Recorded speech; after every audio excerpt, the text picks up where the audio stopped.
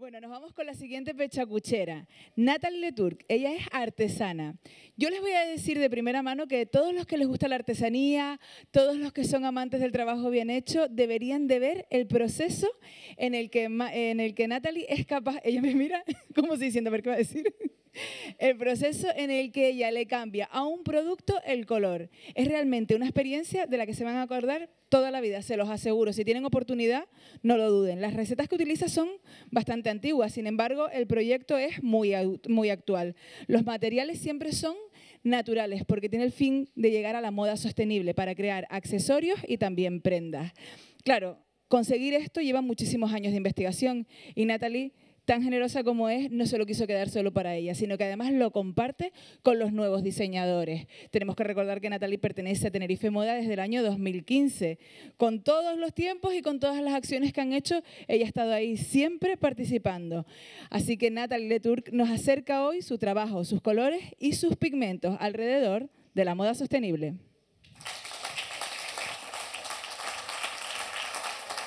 Bueno, Iba a decir primero, hola, buenas noches, me llamo Natalia Rochuk, pero bueno, eso ya me lo puedo saltar. Eh, pues contarle quién soy, en realidad de profesión soy madre y todo lo que sé pues lo tuve que aprender de forma autodidacta porque no, que yo sepa no existe ninguna carrera en el mundo actualmente donde se puede estudiar el diseño textil con colorantes naturales exclusivamente. Entonces, eh, ¿dónde he llegado allí? Porque tengo una pasión, una pasión que es sin límite para el color y cómo se ha construido el color a lo largo de la historia. Actualmente tengo cuatro objetivos claros, es decir, investigar los colorantes de las Islas Canarias, Aquí em, realmente desde la época romana se ha recolectado concha, líquenes, plantas. Desde el siglo XV se ha cultivado plantas y se ha criado insectos como la cochinilla que todavía y en la actualidad eh, se comercializan en estudios, textiles, laboratorios y museos de todo el mundo. Artesanía, me gustaría recordar que la artesanía es transformar materia natural recolectada en el medio que nos rodea y principalmente en mi caso, pues mis manos siempre suelen estar de este color, aunque hoy las tengo más o menos limpias.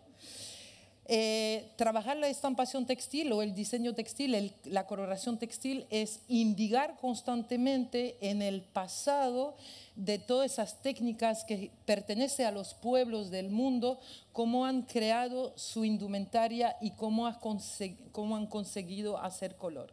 Desde 2015, pues pertenezco a Tenerife Moda y mi objetivo cuando presento una paresalera no realmente es vender, sino que enseñar a un público moderno que es posible crear moda eh, utilizando ingredientes y fibras naturales.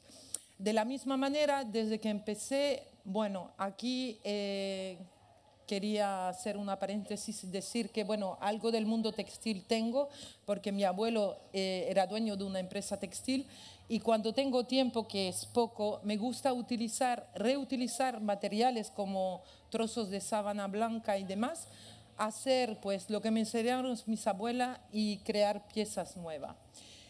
Eh, desde el día uno a mí me encanta colaborar, la verdad que sí. Yo creo que como persona, como, como creadora eh, sola no soy nadie, porque lo mío es el color. Entonces, pues colaboro con otros diseñadores de verdad que crean piezas colaborando ellos mismos con otros artesanos. El año pasado tuve el placer de, de ser invitada aquí al primer Congreso Nacional de Artesanía por, por un proyecto que, pues, que me he sacado de la manga, que me, que me inventé y os voy a decir cómo, porque me enamoré.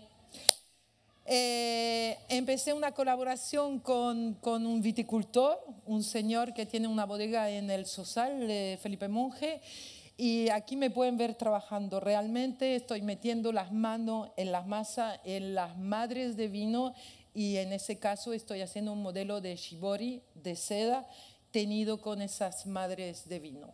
Bueno, este lugar, esa colaboración es muy importante porque primero me ceden un espacio, segundo trabajo varios días al mes de cara a un público que son visitantes internacionales en la bodega. Eso me da una visibilidad hacia las personas de forma increíble. Investigo, investigo muchísimo el uso o el aprovechamiento de las hojas de viña en cualquier época, el despaliado, la semilla y todo lo que es desecho de la elaboración de los vinos.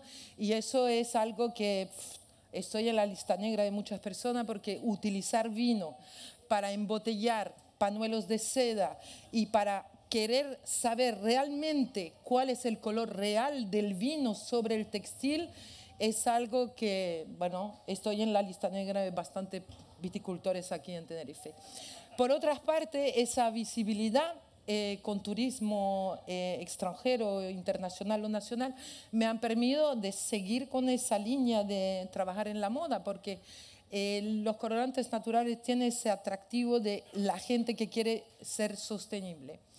Y en esa bodega, pues ya empecé con formaciones, no, eh, propongo experiencia no turística, donde el turista puede pues, aprender las técnicas que utilizó allí.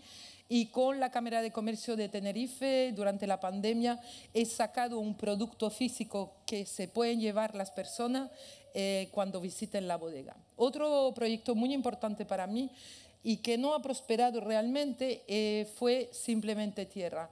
Es utilizar pigmentos inorgánicos como pueden ser la almagre que se utiliza en cerámica y em, em, digamos que hacer una receta de una tinta propia al uso serigráfico eh, y proponer otra vez soluciones sostenibles para el campo de la moda. Eh, aquí podemos ver bueno, otras colecciones que presenté en Tenerife Moda.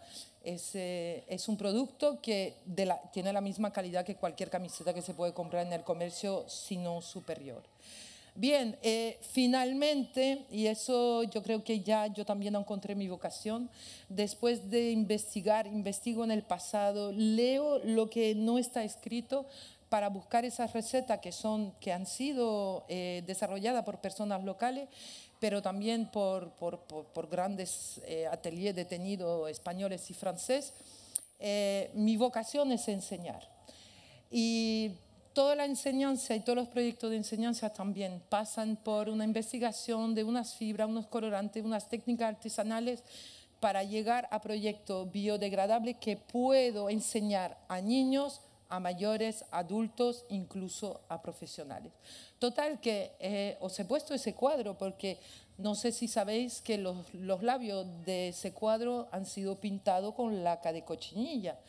Y cuando hago mis investigaciones estoy obligada y todo el día es esa locura que hay en mi cabeza, trabajo el arte, la historia, las tradiciones, el descubrimiento, los viajes, la química, la física, la botánica, la agricultura hago mil y una vez las recetas para que me salgan cosas que yo pueda enseñar. Así que creo que es nuestro, nuestro lema a todos, aprender del pasado para crear un futuro y ahora mismo un futuro que se integra dentro de las nuevas necesidades de la Comunidad Europea 2030-2050.